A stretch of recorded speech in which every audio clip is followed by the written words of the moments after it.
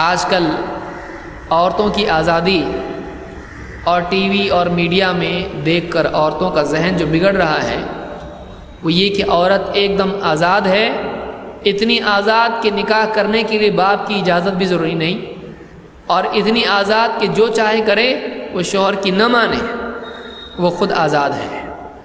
माँ बाप बच्चियों को पढ़ा देते हैं अच्छा खासा डॉक्टर बना देते हैं, इंजीनियर बनाते हैं और जो कुछ भी है पढ़ाते हैं ग्रेजुएट कराते हैं, नीयत क्या होती है? नीयत ये नहीं होती कि बच्ची को मालूम बढ़े। नीयत ये होती है कि अगर तलाक हो गया तो ख़ुद अपने हाथ से कमा के खाए। आप सोचिए, बच्ची अभी पैदा हुई है, उसकी तलाक की फ़िक्र हो रही है। जब तलाक ही को जहन में रख के सारे काम किए जाएँगे तो तलाक तो होगा ही। जहनों में तलाक ही है तो तलाक नहीं होगा तो क्या होगा? लिहाजा बहुत सारे लोग अपनी औलाद के सिलसिले में इस तरह की चीज़ें जहन में रखकर उनकी तरबियत करते हैं और अवत ज़बान से भी कहते हैं, बेटा, पढ़ लिख ले, कल को अगर तेरा कुछ हो गया और तलाक हो गया तो तू अपने हाथ से कमा के खा सकेगी, किसी पर डिपेंड नहीं रहेगी। लिहाजा उसके जहन में पहले ही से तलाक डाल दिया जाता है और वाकई जब किसी के पास सारी सलाहियत हो और सब कुछ हो तो निभने की बजाय अलग होने की ज़्यादा सोचती है।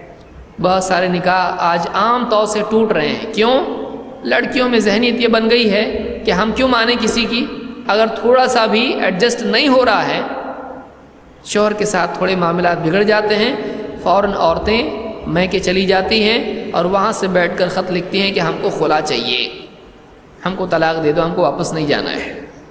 आज निकाह बिल्कुल ऐसा हो गया है कि बहुत आसानी से वो टूट जाता है। हालाँकि निकाह बहुत ही मज़बूत चीज़ है, आसानी से टूटने वाली चीज़ नहीं है। मीसा कनगलीदा एक बहुत ही मज़बूत चीज़ है कि जो ज़िंदगी भर के लिए बीवी शौहर का साथ रहना मकसूद है।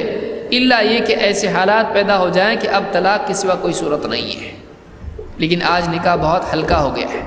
बहुत आसानी से औरतें और मर्द भी निकाह तोड़ देते हैं।